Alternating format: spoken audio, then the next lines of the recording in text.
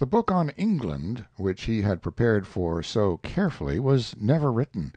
Hundreds of the stylographic pages were filled, and the duplicates sent home for the entertainment of Olivia Clemens, but the notes were not completed, and the actual writing was never begun.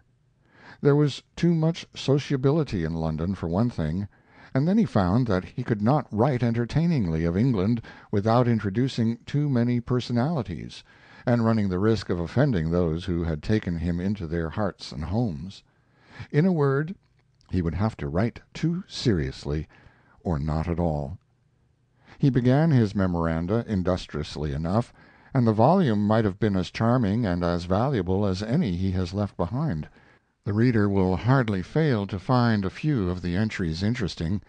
They are offered here as examples of his daily observation during those early weeks of his stay, and to show somewhat of his purpose. AN EXPATRIATE There was once an American thief who fled his country and took refuge in England.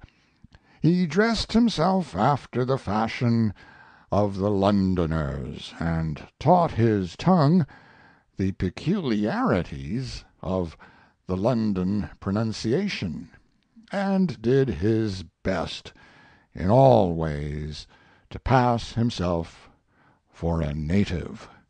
But he did two fatal things: he stopped at the Langham Hotel, and the first trip he took was to visit Stratford on Avon and the grave of Shakespeare.